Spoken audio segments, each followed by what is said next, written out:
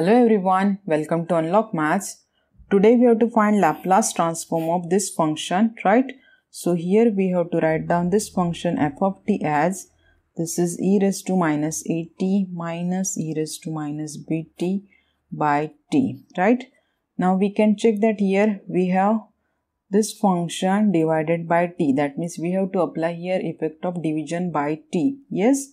So first we have to find Laplace transform of this numerator, right? So Laplace of e raised to minus at minus e raised to minus bt. Yes, what is this Laplace?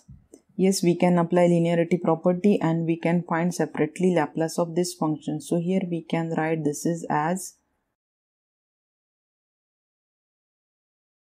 Yes, now what is the Laplace of this is 1 upon s plus a minus 1 upon this s plus b, right? Yes, we have find Laplace of this. Now we want Laplace of this e raised to minus at minus e raised to minus bt by t, right? Yes, we have divided this function by t. That means here we have to apply effect of division by t. Yes, and what is that effect? Yes, we have to take integral of this Laplace, right? And this integral is within limit s to infinity. So here we have integral of this Laplace. This is 1 upon s plus a minus 1 upon s plus b. Yes, and this integration with respect to s. Right? Now, yes, we have to solve this integral, right? Now we can check that here we have the standard form of this function. This is here 1 upon x plus a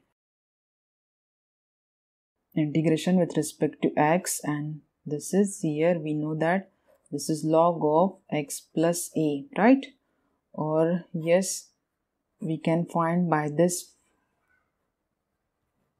formula also yes this is log of f of x function having its derivative in numerator right? Yes. So here we have this is log of s plus a minus log of s plus b right? And this is within limit s to infinity. Yes we have find the integral. Now we have to put the limit Yes, we have find this integral with respect to s. That means this is the limit of s, right? So here when we put limit, we will get this is log of infinity, right? And log of infinity is infinity, right? Yes, that means when we put limit of s, this Laplace get infinite, right? So to get finite Laplace, yes, we will adjust these terms as yes by log rule here we can write this is as a log of s plus a upon s plus b right? This is within limit s to infinity. Yes.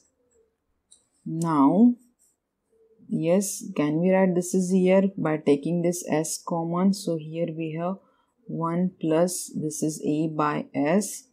And same on this is here by taking s common from this s plus b. So here we have s into 1 upon this is b by s. Yes this is s to infinity right? Now we can cancel out this s s here. So what we have remaining here this is log of 1 plus a by s and 1 plus b by s now we can check that. Can we put limit here? Can we get finite Laplace? Yes here when we put this infinity s is equals to infinity here. So we have here this is a upon infinity and constant upon infinity that is 0 right? That means we will get here finite Laplace right so now we have to put the limit. Yes. When we put here s is equals to infinity. So here we have this is 1 upon this is a by infinity, right?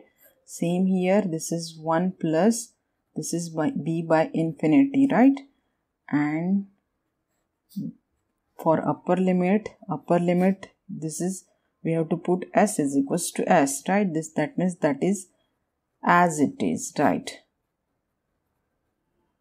Yes we have put limit here. Now yes what we are finding here this is the laplace of e raised to minus at minus e raised to minus bt by t right? Now yes this is a by infinity that is 0 right?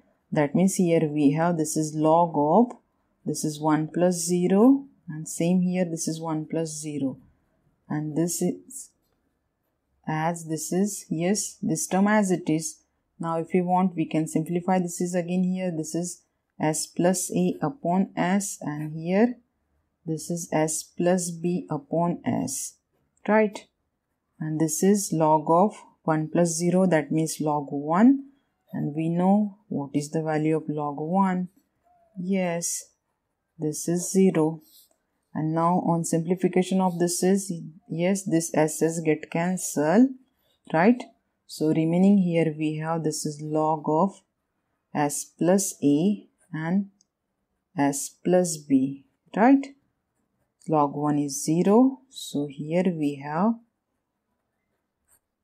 this is so by again log rule we can write this is as yes this is log of s plus b upon s plus a. Yes? Right and we have find laplace of this function here. Yes this is the required laplace which we have find by effect of division by t right?